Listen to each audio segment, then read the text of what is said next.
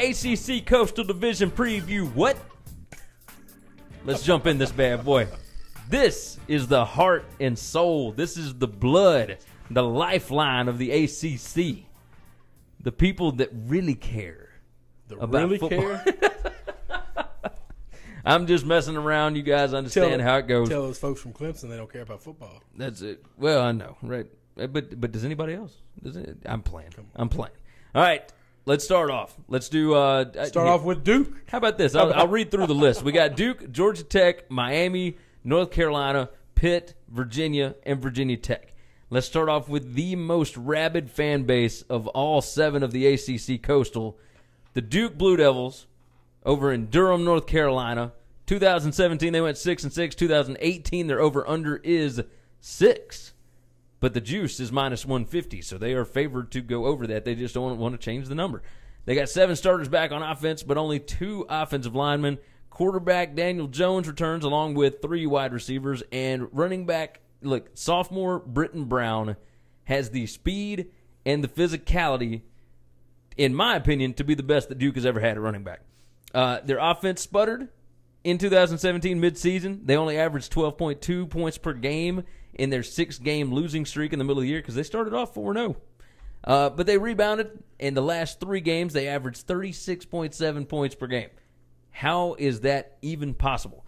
Uh, they play a 4 2 5 defense, and look, it's, uh, it's going to be the strongest that they've ever been on the front six. It's a difficult schedule, but I really like this team. I am all about this team. Wow. I think Yes. we're going to be different then. That's I got them at eight and four. Woo. I got them eight and four. I, I look, I got them losing at Northwestern, And But- you got them 8 and 4. You still got them losing that game? but I, I got them beating uh, Virginia Tech. I mean, I, I got them beating uh, Georgia Tech, Virginia. I got them losing at Pitt, losing at Miami, losing at Clemson. I think they beat Wake Forest at home, beat North Carolina at home, beat Virginia at home. They went on the road at Georgia Tech after a bye week. I got them winning on the road at Baylor. Like, I like this team. I like this team a lot. They got a lot of returning pieces, and I love David Cutcliffe. I, I think he's fantastic. I'm a, I'm a Cutcliffe guy. I kind of went with my heart, not necessarily my brain on a couple of these picks. Is yo? I got them at six, seven, and uh, five and seven, five and seven. Did your heart tell you to go at five and seven? My heart told me I, what is wrong with your heart, man? I, I really like Matt Rhule at Baylor, and Oh, I my want God. him to be better. You know how I feel about Matt Rhule, and I want You him. can want him to be better and be still better. understand that sometimes you're gonna look. It ain't all about wins and losses, Chris. I, I sometimes it's just about They the gonna character. Get, they're gonna get that win. Matt Rhule's gonna get him a W. He's gonna get a good W against the ACC school. Lord, I got him. I got him five and seven. Um, Okay. and I got him five and three in the ACC. So it, I, I'm I do that. You don't do that. I'm sorry. My bad. My bad. Um, let's move on. Georgia Tech. Let's jump in. Okay. Triple option. Paul Johnson. They lost by one in double overtime at Tennessee last year. Lost by one at Miami. Lost by four at Virginia. can you believe? Like I actually thought that by the end of the year, when you saw how bad Tennessee was, It just it makes that loss look I- even worse. I could have seen Paul Johnson getting fired. Uh, yeah, yeah, it's pretty ridiculous. Uh, they went five and six last year. They had a game canceled, Canceled. That's right. at Central Florida, so it, they probably would have been five and seven. We'll never know. No, that, you, you, that's right. 2018 over under is six, and the juice is minus 120 on that one. Um, I don't know. They got nine starters back on offense. I love that. I love experience coming back in the triple option. I know. Senior quarterback TaQuon Mitchell. Sorry, Marshall. Holy God. You you mess up the easy name, I mess up the easy but name, you got but I'm getting the right complicated names really good. There you go. Six starters back on defense, but they got nine upperclassmen starting. Six road games this year. They play at South Florida That's and tough. at Georgia. That's real tough. That's that's real tough. Quarterback Marshall's completion percentage last year. You ready for this number? Thirty-seven point one percent last year. Making them If- boys in Baton Rouge look good. If he can get to fifty percent, Georgia Tech can absolutely be dangerous. You're asking him to gain 13% when he only threw 37. That's that's like that's over 10% better. What did he throw? Like five times a game? Like he's just give the boy some more passes. That's all I'm saying. I got him going seven and five. I got them four and four. I, they got a lot of experience coming back. I got them five and seven. You got them beating South Florida. I got them beating South Florida. You're just wrong. South Florida, like, You just don't respect.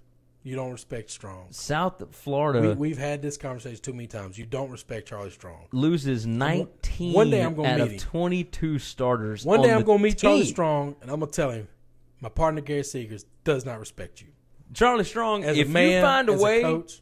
To beat Georgia Tech in week two when you were replacing 19 starters from last year, He'd be just fine. hey, I'm all about it. I'll tell you I'm sorry. But One of the best coaches Right now. football. Paul Johnson is also a really good coach. And I'm in on that, John. I got him beating that. Uh, I got him winning at South Florida. I got him losing at Pitt the next week, though. Any any coach that has an L against Butch Jones, I'm not calling a really good coach. That's a fact. I'll stand beside that statement. There's, a, you know what? I think we could probably go back through Butch's entire Tennessee history. Remember when people got croomed oh yeah, when Mississippi State would beat somebody Yeah, and you- then they got butched. fired? Yeah, yeah. I bet everybody other than Paul Johnson has been butched. Hey, you're probably right. Oh man, either way. All right, so I got him seven and five. What you got him? Five, Five and and seven. seven. Five and seven. Okay, let's move on. Miami, it's time. 2017, 10 and two. The Hurricanes. They lost 38 to three to Clemson in the ACC championship game last year. Not good. Not pretty. No, they uh, they closed the year losing at Pitt. They got hammered by Clemson. They lost the Orange Bowl to Wisconsin. They started out 10 and 0, Started lost out. the last three. The They're- turnover chain just lost its yeah, goal. turnover chain was gone after that. Uh, the over under this year is nine and a half. Juice is minus one hundred five on that. Um, look, Mark Richt. It looks like he's got him headed in the right direction. There's not a whole lot of depth on the offensive line or the defensive line, so injuries there could end up being killers. They It- got it could talent. swing, it could swing that team real bad. Yeah. Uh, quarterback Malik Rosier, uh, running back Travis Homer. They return. Skill players are pretty new. Uh, you know, they got six returning starters on offense, seven on defense. Look for wide receiver Ahmmon Richard. Uh, Richards to be a star after breaking out uh, in 2016. He had a knee injury last year, but he'll be back. He was an All American as a freshman in 2016, so he'll be real good this year, hopefully, if he returns right. Um, they still have the talent to be really good. I don't think they're national title good. I'm not going to argue with that. So I, I've got Miami at nine and three this year. We're real close. We're real close. I got them 10 and 2. I really liked Mark Richt.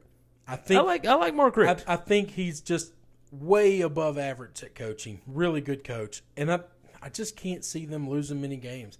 The schedule does not scare me. yeah, I mean I, I understand where you're Here's coming from. I, I got them 10 and 2 and I got one of those losses to LSU which I'm pretty sure is going to be a W. Well, I've got them beating LSU. Uh, as a matter of fact, I've got them starting off seven and zero. I got them beating Florida State. I got them winning at Virginia, beating up Bronco Mendenhall's bunch. But then after the bye week is when it gets crazy, which Well, yeah, is exactly what the- happened this last when year. When the schedule gets brutal. Well, schedule gets tough, and you start to see about that depth, right, on the offensive and defensive lines. And at that point, they got to play at Boston College, Duke, at Georgia Tech, at Virginia Tech, and Pitt. so you got them losing to Duke? No, I got You them got them losing the pit. I, nope, I got them losing at Boston College, at Georgia Tech, and at Virginia Okay, Tech. Georgia Tech's. I got them losing the three road games. Okay. So yeah, I don't think that's going to happen. That'd be all right. uh, you know, we'll We see. disagree. That's okay. They uh, they probably got more talent, but those are the kind of teams that you were talking about before. Oh, you're no, you're right. You know, You're it's, it's right. Oh, guys that want to fight. That's right. North Carolina, Hold on, what, what, what, yo, you ten and two, 10 2. ten and two. Okay, you got them winning this uh, division. Uh, no, we'll no, get to it. We'll get to it. Okay, No, don't jump ahead. don't.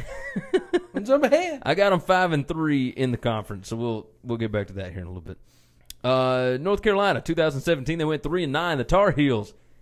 We hadn't even talked about this before, but the uh, the selling shoes, everybody getting suspended, and they're doing like a tiered system where some guys miss some games and blah blah blah. So let me hang on. Our, our guys on, our guys from West Lot talked about this on their podcast a while back, and I was listening to it, giving them some love.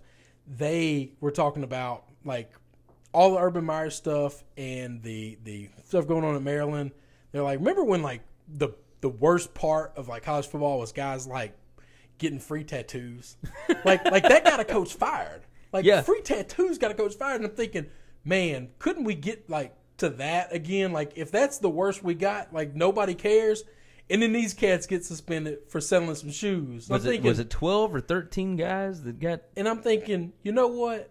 Let them sell the damn shoes. Oh, No- I- I agree. Nobody's died. No, nobody's getting No. raped. No, you know, like like nobody's getting abused. What what, No, what are we talking about? Ain't nobody arguing about like it. Look, it's a gift. It is your shoes. You should be able to sell it. And you, and the I'm right day that. and the day you're finished playing college football, you can sell it. But- but while you're playing, you one day can't? before that, you can't. Come on, man. It's ridiculous. Anyway, So last year, three and team? nine. Uh, their over under is five and a half. They are minus one fifty to win over five and a half. yeah, five and a half is pretty low. It's it's pretty low, but is for a team that went three and nine last year, uh, look, they got five starters back on offense, and it's still a quarterback battle between Chazz uh, Surratt and Nathan Elliott, and I don't understand how because Nathan Elliott played immensely better at the end of last year. Uh, only the tackles are proven on the offensive line. Seven starters back on defense, but they finished last against the run in the ACC for five straight years. They got to fix that problem. Uh, their non-conference schedule is pretty rough. They play at Cal to start off the season. They play at East Carolina, and they've got Central Florida coming in.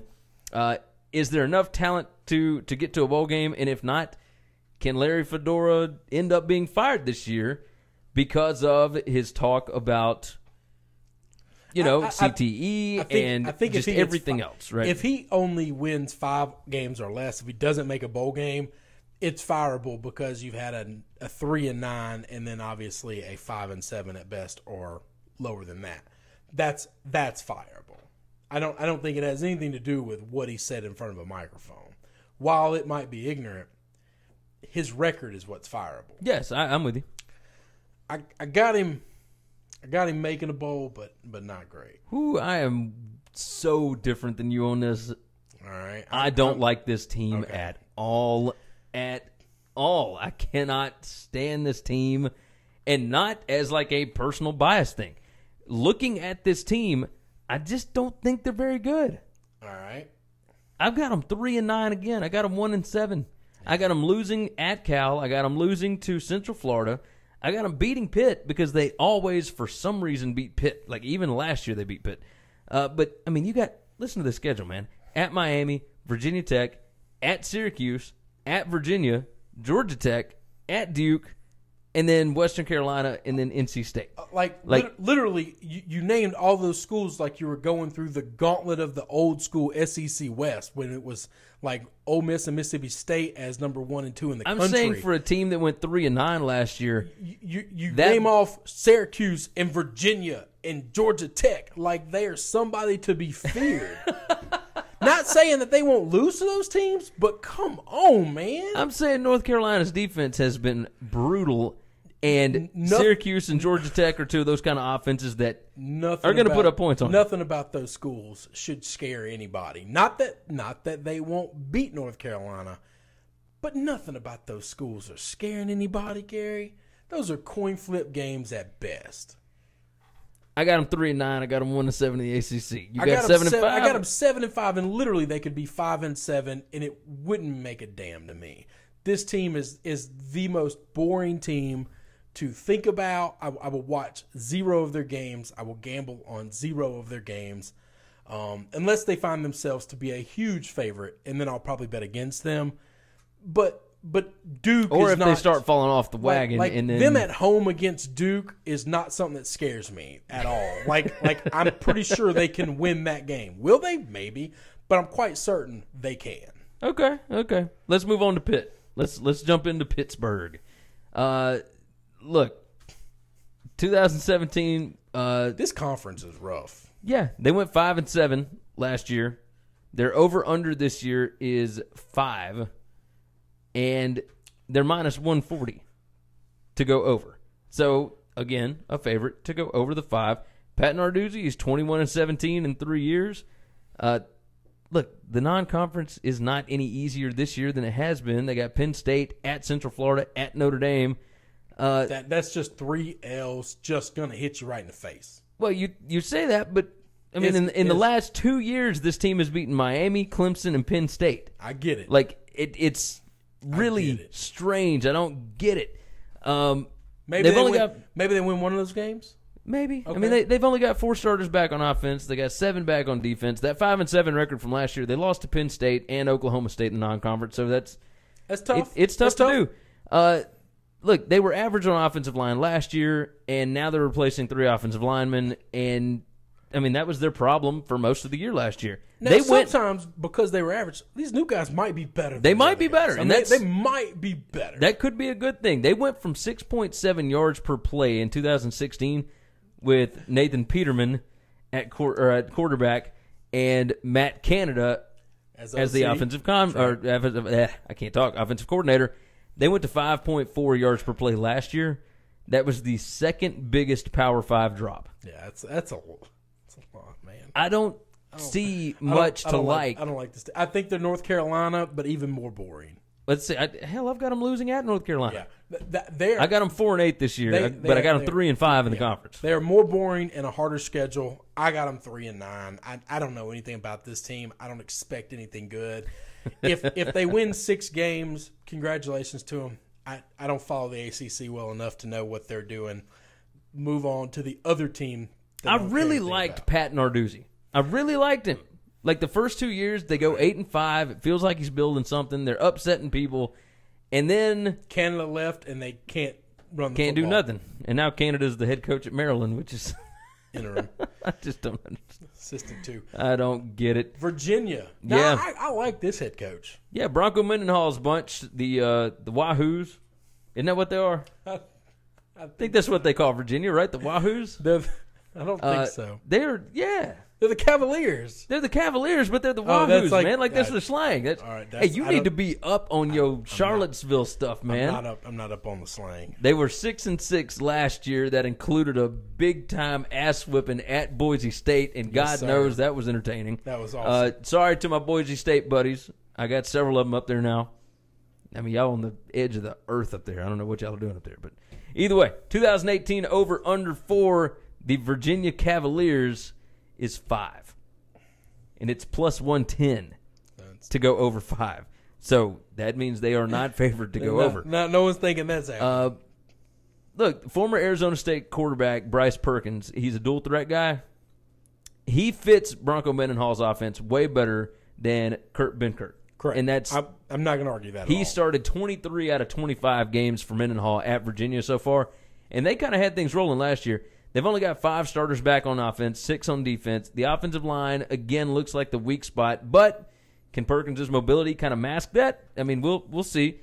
There's lots of experience and talent at, at the linebacker and in uh, in the secondary, but the defensive line is questionable. Bowl game last year was progress, but I'm looking at a little bit of a drop off this year. I think they're going to play tougher. I just don't think they got the depth to be able to to go through this schedule. Um, the early part is going to be just pretty brutal, and then after that, like yeah, they'll get some wins here and there. I mean, they got Liberty like third to last game, so that's always a good thing. But I mean, you close out at Georgia Tech and at Virginia Tech, like that's rough for a team with uh, with this kind of talent. I've got them at five and seven. I got them two and six in the ACC. Yeah, I got them five and seven also, and it wouldn't shock me if Ohio, Ohio comes in and beats them. I mean, you know how I feel about the You know, I. I've really thought about that, but I mean, you know how I feel about the MAC teams. Yeah. I, I, I like those teams a well, lot and, better and than Frank most. Solich, like he's a covering I- machine, man. know, like he will cover the spread on that. I, I have made I have made a lot of winning bets in in bowls betting MAC teams. Oh yeah, Like when when they play big boy schools in bowls, they don't lose to them, and they definitely don't blow covers. no, I'm I'm with you. I got them five and seven also. Now, if they finish six and six and go to another bowl, it wouldn't shock me. Any of these things are Yeah. logical on this, Be- right? Because, you've got this entire conference, and other than Miami, and uh, this division, and other than Vitek, no, they're all the same. All of these teams are the I- exact same this me. year, I think they could all just be the same. Everybody on here could Yes. beat everybody else. I- That's almost, what makes it difficult. right? Almost. We're gonna get to that last one. All right, well, let's go on and jump in. Let's, talk about Virginia Tech. Let's talk about the Hokies, Justin Fuente's bunch. It's my guy. They went nine and three last year. Uh, their 2018 over under is eight and a half. That is plus 130. That means they are favored to go under the eight. Now, here's the deal. They found a way to win nine games last year with the freshman quarterback and an inconsistent running game. It's, I, it sounds like you don't like this. No, go ahead, keep going. So, with No, a no, no. freshman quarterback and an inconsistent running game, the defense only returns five starters. Uh, can anybody replace linebacker Tremaine Edmunds, defensive tackle Tim Settle, and safety Terrell Edmunds? Bud Foster's still good. He's still great. He's been replacing But those guys I- forever. I want you to listen to this, though. All right. Three quarters of this roster are underclassmen. They are sophomores or younger. Who replaces wide receiver Cam Phillips? He was the all-time leading pass catcher. We have no idea. It could be Ball State transfer Damon uh, Hazelton. It could be Eric Kumah. It could be Sean Savoy. Uh, the schedule sets up well, but like these underclassmen got to grow up early. Like the first game at Florida State could actually help them out for the rest of the season. Like going into a big time environment like that, and and seeing what it's like can actually set them up for the rest of the year. But man, they are super young and they are replacing a bunch of dudes. Uh, I think, I think they could do it. dude, I, I've got them ten and two. I got them six and two in the conference, but I got them losing at Florida State in the first game, know. and then I got them losing. I got them losing at Duke in the fifth game, not- and then I've got them running the table. I got them beating Notre Dame. I got them winning Justin, at North Carolina, Justin Fuente's not losing to Duke. Georgia Tech, Boston College, Miami, Virginia. Like I got them winning all these. I got them winning that at Pitt. week one game. You're right. That is going to be the game to determine. I think if they look right in that game, I think they can run it. I you think they can right. run it. I like this team. I love this coach, and and I. They got to replace some dudes, but but everybody's replacing dudes, and I think he's getting to a point where he can. I think the fact that they're young is just fine.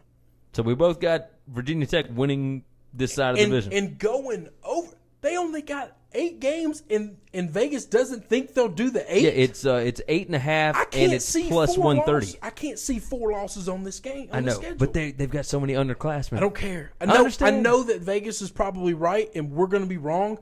This I've been I've been This marking feels notes when I right. realize that the juice is so far off the other way that I want to go. I've got four bets in this conference. That's more than any other conference that that I will be laying down sizable money that matter to me. We may be making a run down to Tunica after this thing gets done. That's right. All right, Virginia Tech, y'all got a lot to be excited about. Let's do this.